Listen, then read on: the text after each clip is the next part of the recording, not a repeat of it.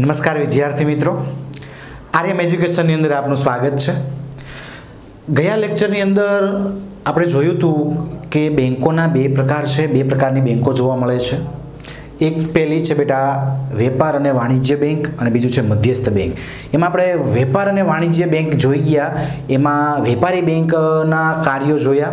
વેપારી બેંકના મુખ્ય કાર્યો અને વેપારી બેંકના ગૌણ કાર્ય. તો આજે આપણે ભણવાનું છે મધ્યસ્થ બેંક. મધ્યસ્થ બેંક શું છે? મધ્યસ્થ બેંક કોને કહેવાય? અને મધ્યસ્થ બેંક કાર્ય કેવું કરે છે? તો ટોપિક જોઈએ દીકરાઓ, મધ્યસ્થ બેંક. તો દુનિયાના દરેક દેશમાં એક મધ્યસ્થ બેંક છે એ આવેલી હોય છે. દુનિયાનો કોઈ પણ દેશ એવો બાકી નહીં હોય કે દેશમાં મધ્યસ્થ બેંક ના હોય. મધ્યસ્થ બેંક તમે જાણો જ છો. આપણા દેશમાં કઈ બેંક આવેલી છે મધ્યસ્થ બેંક અને એનું નામ શું છે એ પણ તમે વિદ્યાર્થી મિત્રો જાણો છો. ક્લિયર આટલું? તો દુનિયાની વાત કરે છે બેટા. દુનિયાના દરેક દેશની અંદર એક મધ્યસ્થ બેંક હોય છે. અને આ બેંક શું કરે છે? તો જે તમામ બેંકોની કામગીરીનું સંચાલન કરે છે, એનું મૂલ્યાંકન કરે છે અને એ બેંકો પર અંકુશની કામગીરી કરે છે. મધ્યસ્થ બેંક છે, એ બધી જ બેંકો છે એની કામગીરી જોવે છે. એટલે કે બેંકોની કામગીરીનું સંચાલન કરે. કોણ? તો કે મધ્યસ્થ બેંક. બરાબર? પહેલું. બીજું કામ કરે છે મૂલ્યાંકન કરવાનું, જોવે છે. અને ત્રીજું કામ કરે છે અંકુશ રાખવાનું. આ કામગીરી છે મધ્યસ્થ બેંકની. ત્રણ બાબત. સંચાલન કરવું, મૂલ્યાંકન કરવું અને અંકુશ રાખવું. ક્લિયર આ ત્રણ બાબત કરે છે. બીજું છે કે આરપી કેન્ટના મત મુજબ મધ્યસ્થ બેંક કોને કહેવાય એનો અર્થ આપણને આપે છે. આરપી કેન્ટ નામનો વ્યક્તિ છે એ મધ્યસ્થ બેંકનો અર્થ આપણને આપતા જણાવે છે કે એવી સંસ્થા કે જે દેશના સામાન્ય હિત માટે, એક કોઈ એવી સંસ્થા છે કે જે દેશના સામાન્ય હિત માટે, સામાન્ય હિત એટલે કોઈ પણ નાનામાં નાના માણસનું હિત જોવે એવી સંસ્થા. એવી સામાન્ય હિત માટે અર્થતંત્રની અંદર, બરાબર સમજો અર્થતંત્રમાં નાણાંના જથ્થાના વિસ્તરણ અને સંકોચનની જવાબદારી સોંપવામાં આવી હોય. જેને શું કહેવાય? તો કે મધ્યસ્થ બેંક કહેવાય. બરાબર સમજો વિદ્યાર્થી મિત્રો? કે એવી કોઈ સંસ્થા છે દેશની અંદર કે જે દેશના સામાન્ય હિત માટે, કે દેશનું હિત જળવાય, સામાન્યમાં સામાન્ય હિત જળવાય, એવા હિત માટે અર્થતંત્રની અંદર નાણાંનો જે જથ્થો છે, એ નાણાંના જથ્થાનું વિસ્તરણ અને સંકોચનની જવાબદારીને સોંપવામાં આવી કે દેશની અંદર નાણાંનું વિસ્તરણ પણ થવું જોઈએ અને સંકોચન થતું હોય તો એને અટકાવવું જોઈએ. સંકોચન એટલે ઘટવું, વિસ્તરણ એટલે વધવું. આ ખ્યાલ આપણને હોવો જોઈએ, જે તમે અગિયારમા ધોરણમાં ભણો છો, ભણી ગયા છો. બરાબર છે? એટલે વિસ્તરણ એટલે વધવું, સંકોચન એટલે ઘટવું. તો નાણાંનો જે જથ્થો છે દેશની અંદર, એને વિસ્તરણ વધારવાનો છે, વિસ્તરણ કરવાનો છે, અને સંકોચન એટલે જે ઘટતો હોય, તો એને પણ કઈ રીતે અટકાવો ઘટતો, અને કઈ રીતે આગળ લાવવો, એની જવાબદારી જેને સોંપવામાં આવી હોય, એને શું કહેવાય? તો કે મધ્યસ્થ બેંક કહેવાય છે. આગળ વધીએ, તો કે આ બેંકનું મુખ્ય કાર્ય શું છે? આ બેંક એટલે કઈ? તો કે મધ્યસ્થ બેંક. તો મધ્યસ્થ બેંકનું કાર્ય શું? તો કે નાણાં બજાર અને બેન્કિંગ ક્ષેત્રને. નાણાં બજાર, એટલે કે જે નાણાંનું બજાર છે તેને અને જે બેંકોનું ધ્યાન રાખે છે. ત્રણ બાબત જોઈએ ને આપણે સંચાલન, મૂલ્યાંકન અને અંકુશ. તો જે બેન્કિંગ ક્ષેત્ર છે એને મદદ કરવાનું છે. બીજું, મદદ કરવાનું અને તેનું નિયંત્રણ પણ કરવાનું છે. મદદ તો છે જ. મદદ તો કરવાની જ છે, પણ સાથે એના પણ શું રાખવાનું છે? બેંકો પર નિયંત્રણ. કેના પર? નાણાં બજાર અને બેન્કિંગ ક્ષેત્ર પર મદદ કરવાનું. જરૂર પડે ત્યારે નાણાંની અને એના પર નિયંત્રણ પણ કરવાનું છે.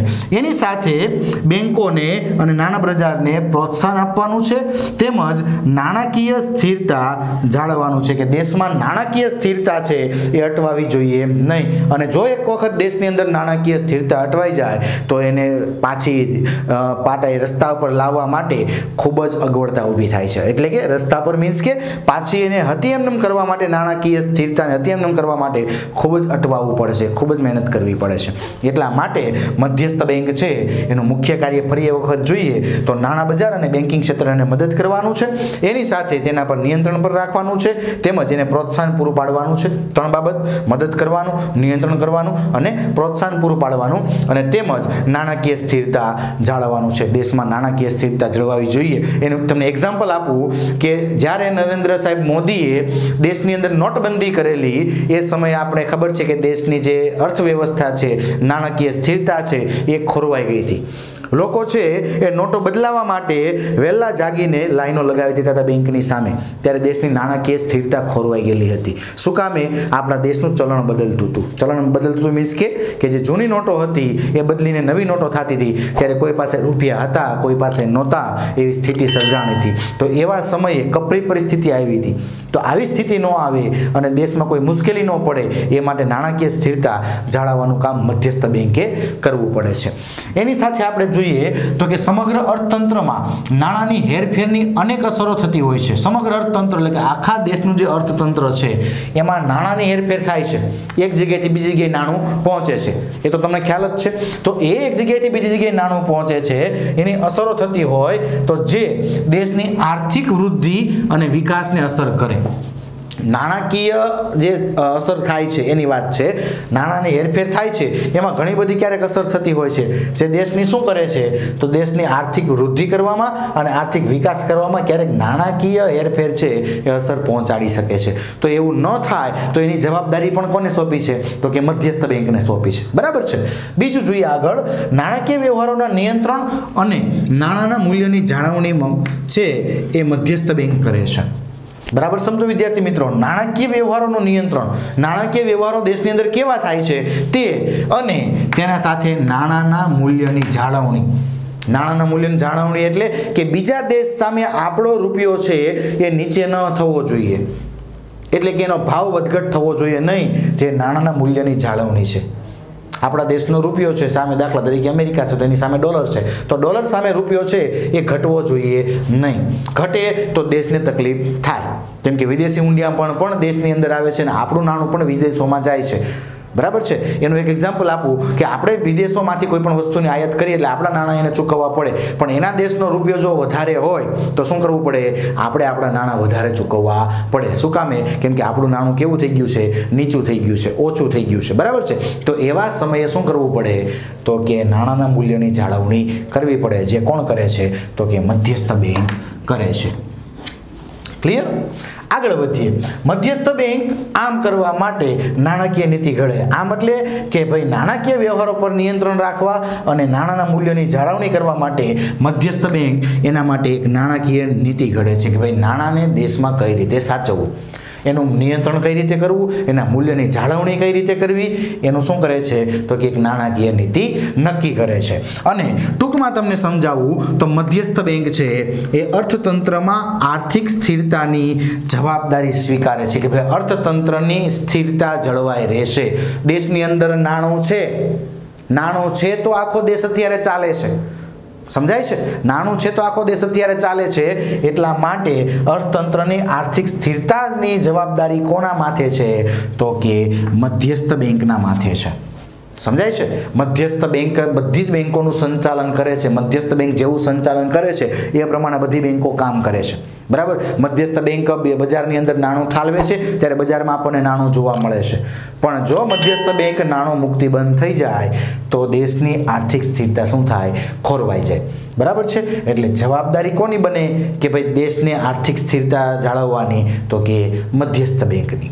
ક્લિયર આ મધ્યસ્થ બેંકનો અહીંયા ટોપિક આપણો પૂરો થાય છે. ત્યાર પછીનો ટોપિક છે, વિદ્યાર્થી મિત્રો, તો અહીંયા આપણે જોઈએ ભારતીય રિઝર્વ બેંક એ જ આપણી મધ્યસ્થ બેંક છે, તમે જાણો છો. તો ભારતની મધ્યસ્થ બેંક જે રિઝર્વ બેંક ઓફ ઇન્ડિયાના નામે ઓળખાય છે. જેને શોર્ટમાં આપણે આરબીઆઈ કહીએ છીએ રિઝર્વ બેંક ઓફ ઇન્ડિયા આ તમને એક ગુણની અંદર પૂછાય તો કે આરબીઆઈનું ફૂલ ફોર્મ આપો તો રિઝર્વ બેંક ઓફ ઇન્ડિયા બીજું કે ઓગણીસો ને ચોત્રીસના ધારા મુજબ આરબીઆઈની સ્થાપના એટલે કે રિઝર્વ બેંક ઓફ ઇન્ડિયાની સ્થાપના ક્યારે થઈ? તો પહેલી એપ્રિલ ઓગણીસો પાંત્રીસમાં થઈ હતી. એક ગુણના પ્રશ્નની અંદર અને એક ગુણના એમસીક્યુની અંદર આઈએમપી પ્રશ્ન બને. કે ભાઈ રિઝર્વ બેંક ઓફ ઇન્ડિયાની સ્થાપના ક્યારે થઈ હતી? તો રિઝર્વ બેંક ઓફ ઇન્ડિયાની સ્થાપના પહેલી એપ્રિલ ઓગણીસો પાંત્રીસમાં થઈ હતી. એની સાથે જ આપણે જોઈએ કે જે રૂપિયા પાંચ કરોડના ખાનગી મૂડીરોકાણથી એની સ્થાપના થઈ હતી. બરાબર સમજો વિદ્યાર્થી મિત્રો, કેટલા રૂપિયા? રૂપિયા પાંચ કરોડના ખાનગી મૂડીરોકાણથી. સરકાર રસ્તો કોઈ રૂપિયો આવેલો હતો નહીં. ખાનગી મૂડીરોકાણ કીધું છે. ખાનગી પોતાનું મૂડીરોકાણથી શું થઈ હતી? તો કે એની સ્થાપના થઈ હતી. કોની? આરબીઆઈની રિઝર્વ બેંક ઓફ ઇન્ડિયા એની સાથે પહેલી જાન્યુઆરી ઓગણીસો ઓગણપચાસમાં આરબીઆઈનું રાષ્ટ્રીયકરણ કરવામાં આવ્યું. પહેલી જાન્યુઆરી ઓગણીસો ને ઓગણપચાસમાં આરબીઆઈનું શું થયું? રાષ્ટ્રીયકરણ કરવામાં આવ્યું. એટલે કે દેશની મધ્યસ્થ બેંક બનાવવામાં આવી. રાષ્ટ્રીયકરણ થયું. બરાબર છે? રાષ્ટ્રીયકરણ થયા પછી અત્યારે નિયંત્રણ મધ્યસ્થ બેંકે બની અને બધી બેંકોનું દેશમાં શું કરે છે? તો કે નિયંત્રણ કરે છે. આ પણ અગત્યનો પ્રશ્ન છે. એક ગુણનો પ્રશ્ન અને એક ગુણના એમસીક્યુની અંદર મહત્વનો પ્રશ્ન કે ભાઈ ભારતીય રિઝર્વ બેંક ઓફ ઇન્ડિયાનું રાષ્ટ્રીયકરણ ક્યારે કરવામાં આવ્યું? અથવા તો આરબીઆઈનું રાષ્ટ્રીયકરણ કયા વર્ષમાં કરવામાં આવ્યું? તો પહેલી જાન્યુઆરી ઓગણીસો ને ઓગણપચાસમાં રાષ્ટ્રીયકરણ થયું અને પહેલી એપ્રિલ ઓગણીસો ને પાંત્રીસમાં એની સ્થાપના થઈ. અહીંયા વિદ્યાર્થી મિત્રો ખાસ ધ્યાન રાખવું કે અહીંયા અટવાય નહીં. સ્થાપના અને રાષ્ટ્રીયકરણમાં સ્થાપના એક મગજમાં ફિટ જ રાખવાની. પહેલી એપ્રિલ ઓગણીસો પાંત્રીસમાં સ્થાપના અને પહેલી જાન્યુઆરી ઓગણીસો ને ઓગણપચાસમાં. અટવાવાનું કારણ શું? કે બંનેમાં પહેલી પહેલી આવે છે. અહીંયા ધ્યાન રાખો તમે. અહીંયા પહેલી એપ્રિલ છે, અહીંયા પહેલી જાન્યુઆરી છે. અહીંયા ઓગણીસો પાંત્રીસ છે, અહીંયા ઓગણીસો ને ઓગણપચાસમાં. પાંત્રીસમાં સ્થાપના અને ઓગણપચાસમાં રાષ્ટ્રીયકરણ કરવામાં આવ્યું. ક્લિયર તો અહીંયા આપણો અહીંયા વીડિયો લેક્ચર બેટા પૂરો થાય છે. નેક્સ્ટ લેક્ચરની અંદર આપણે આરબીઆઈના એટલે કે મધ્યસ્થ બેંકના કાર્યો ભણવાના છે. Thank you thank you very much